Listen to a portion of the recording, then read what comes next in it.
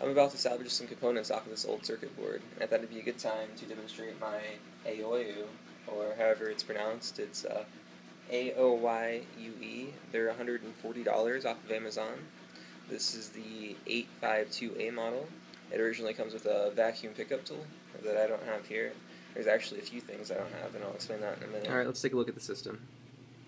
Here's the vacuum hose that that vacuum pickup tool connects to. Here's the heat gun. It actually gets air.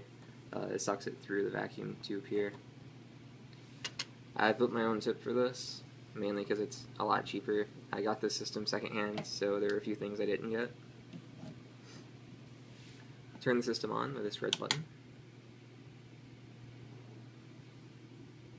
You can see it's turned off. The gun itself, the hot air gun is turned off. Turn it on.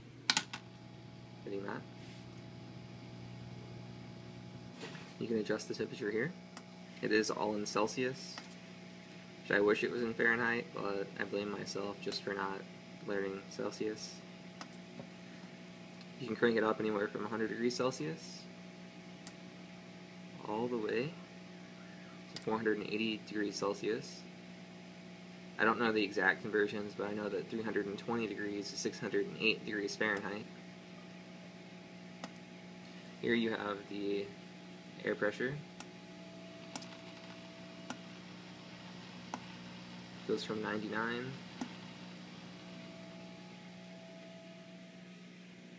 down to 6. And you can see the ball here on that pretty blue light as you adjust. When it gets up the temperature, or rather when you turn it off and it needs to cool down, you flick the switch. You can see the air pressure jump, and it actually cools down the filament in there. So it's supposed to make it last longer. I don't have any actual tools to show the uh, air pressure, so I'm going to use what I have at hand. I have a couple of surface mount components here. Um, this is something I commonly replace. It's an amplifier. And uh, I'm going to risk burning my table here to show you what the various air pressures will do to these components. So here's our components. Grab the hot air gun, turn on the system, and I'm going to set all of the settings to the lowest possible, obviously the heat, which is already uh, down. I'm going to turn the pressure lowest setting. I'll tell you that you can you can feel the heat, but there's really little to no pressure behind it, and it's not going to blow these extremely lightweight components away. Um, turn it up to like say 24. still nothing. You can feel the heat a little bit more. There's a little bit of pressure behind it. Uh, really not a whole lot. Do 50. Now you're getting a little bit of wind behind it. You can see that I can push the amplifier around just a little bit.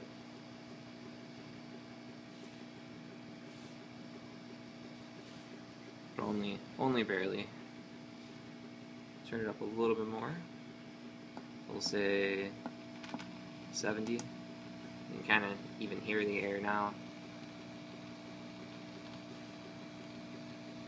I could pretty much move that little guy around pretty easily. Jump up to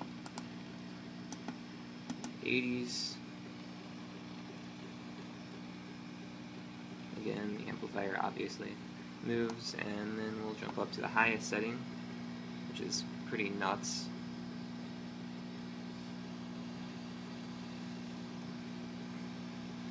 I work with these, so it's really annoying for me when I blow the component off the board and I'm trying to solder it down. So it's nice to have really low settings for that. Alright, my goal here is just to show you uh, blowing some solder. So I'm going to put a little bit of flux on the board. Now there's a little bit of some sort of glue. It almost, it's like hot glue on the board. I've tried to remove most I can but I feel like it's going to pose some problems that I wouldn't normally have removing or when uh, melting solder with this gun. But we'll see what happens. Put my heat about 400 degrees Celsius. Not too concerned about burning this board. I'm going to set the air at about 54. A little bit lower than 54 actually. 39. Let's go with that. So grab some tweezers.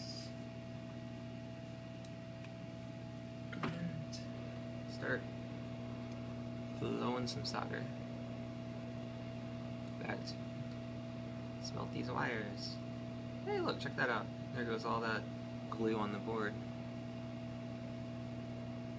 How convenient.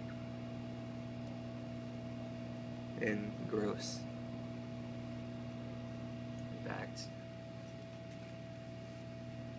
There we go.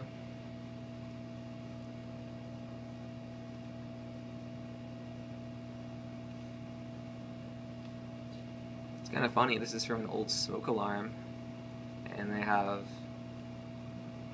glue on it that's gonna get all melty and gross if it were to get hot.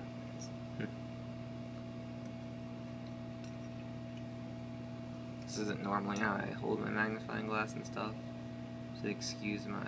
Oh, there we go. See, already flowing. Check that out. Back. See if I can pull this transistor out. Let it heat long enough. Usually leave the solder behind on the board. As you can see, I made the board bubble a little bit there. So it gets pretty hot pretty fast. And there's my component. Pretty simple. So what do I think of this system? Well, if I would have bought it retail from Amazon for 140 bucks, it would have paid for itself in about two uses for me. And it's been a really good system. I haven't had any problems with it at all, none whatsoever. I don't use it a whole lot, but I have had it for a few years now.